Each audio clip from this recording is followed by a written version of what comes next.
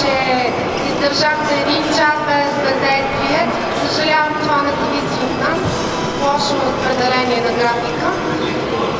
И благодарим, че сте тук.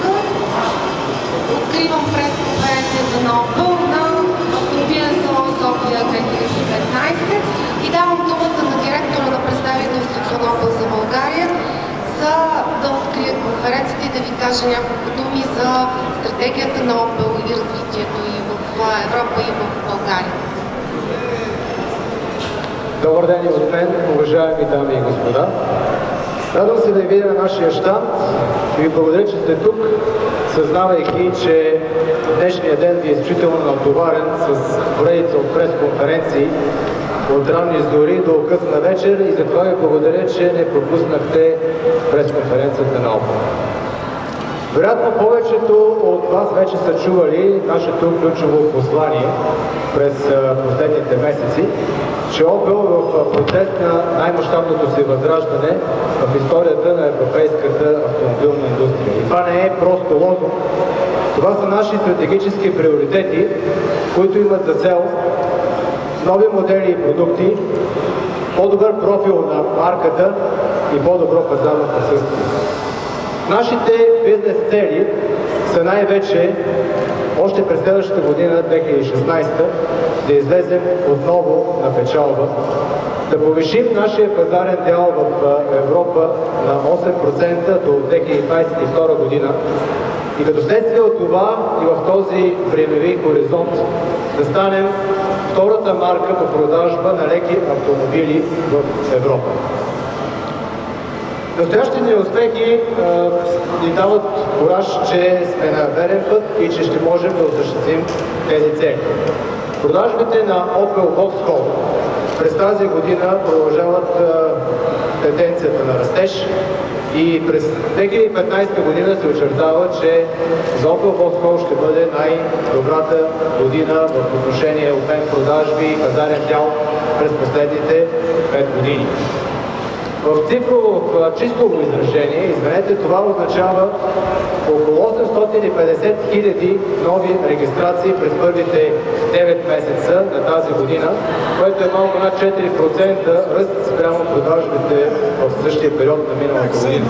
Малко по-висок пазарен дял, по настоящем 5,87%. Знаете добре, че Opel Vauxhall е най-голямата марка в Европа на General Motors и ние имаме категоричната подкрепа за стабилното и дългосрочно развитие на марката от нашата компания майка General Motors. Радостен съм да отбележа обаче факта за България, където успехите на Opel са значително по-добри от средните за Европа. През първите 9 месеца на 2015 година продажбите на Opel народния пазар бележат ръст от 38% в сравнение с същия период на миналата година.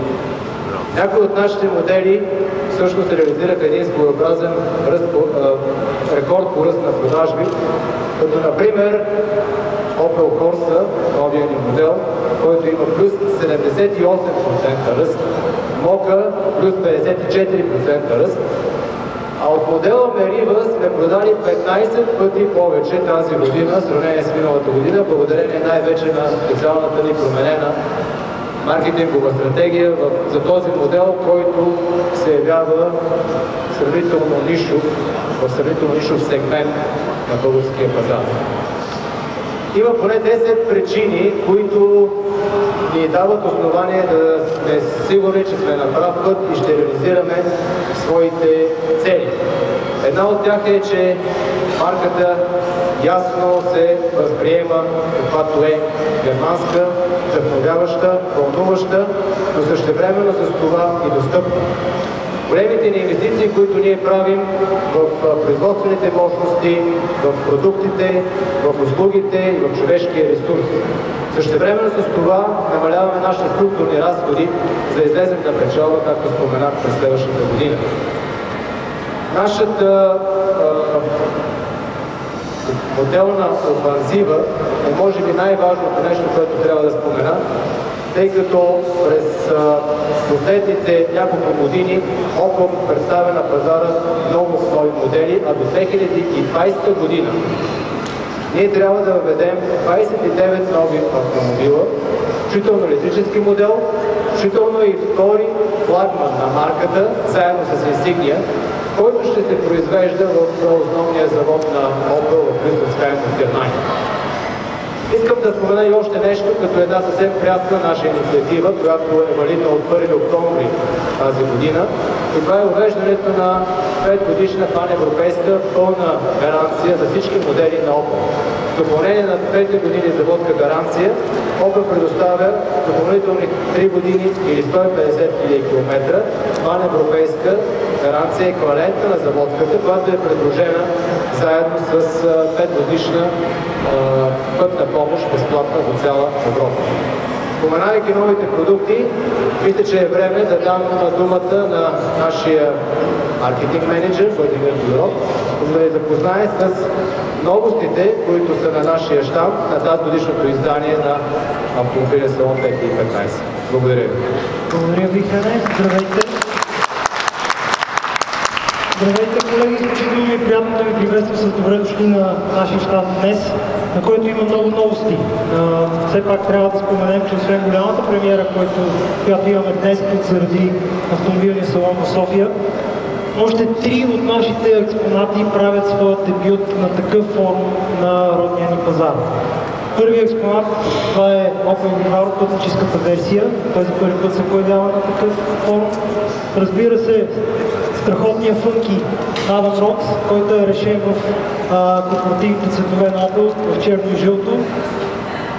И, както господин Горанчев спомена, Корса, която представихме в началото на тази година на българския пазар, но на такъв голям форум никой до сега не се е появявал.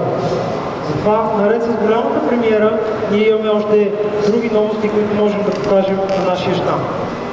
Но, днес сме се събрали за да отпразнуваме премиерата за България на този модел. Този модел, който има продадени общо в компактния клас на 24 милиона екземпляра, включва кадет и следващото поколение Астра. Този модел, който всъщност се появява наистина броени дни след световната премиера, която се случи в Франкфурт преди няколко седмици.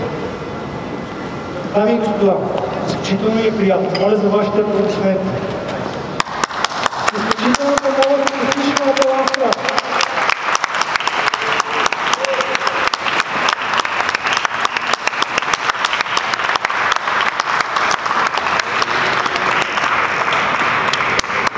Като всяка суперзвезда и тази е лека. Нейното тегло е намаляло с до 200 кг от предишния модел. Изключително. Нейният дизайн абсолютно хармонира на, нейната, на нейното намаляло тегло. Той е много плавен, много динамичен, излучва лекота. Искам да обърнете внимание на решението на C-колоната на този модел, която е в черна цветка, което допълнително създава а, една аналогия за плаващ покрив. Издължения силует, спортната предница, спортните светлини. Освен голямата промяна отвън, моделът е претърпял значителна промяна и отвътре. Когато след малко седнете в този модел и се настаните в него, ще видите изключително много новости. Като започнем от централната конзола, инфотеймент системата, която е една единствена по си в този сегмент, която дава възможност за mirror образ на телефон Apple или на Android телефон. Нещо друго, което е характерно за високия клас автомобили. В този автомобил има wellness седалки. Имате възможност за масаж, за да може вашето пътуване да не е толкова изморително, когато имате по-дълъг пробег. Освен всичко останало, нека не забравяме, че имате възможност и за аромат вътре в колата. Това допълнително допринася за лоялност усещане. И като говорим за иновации от по-висок клас, изключителните LED матрични предни светлини. Това е единственият автомобил в този клас, който предлага такъв тип светлини. Ние се гордеем много с а, тези наши разработки И освен иновативни, дизайнерски, уелнес или технологични елементи, мога да кажа и за всички абсолютно нови двигатели, които са вътре в този автомобил. От 1 литров бензин до 1,6 литров бензинов двигател с различна мощност и коплирани с различни трансмисии и дизеловите 1,6 литрови двигатели, тъй наречения шептящ дизел. И така, тази кола е по-лека от преди, по-динамична, с страхотен дизайн, с страхотно усещане от шофирането в нея. Ние сме изключително горди, че можем наистина броени дни отново, повтарям след световната премиера на този автомобил, тази кола да е в България.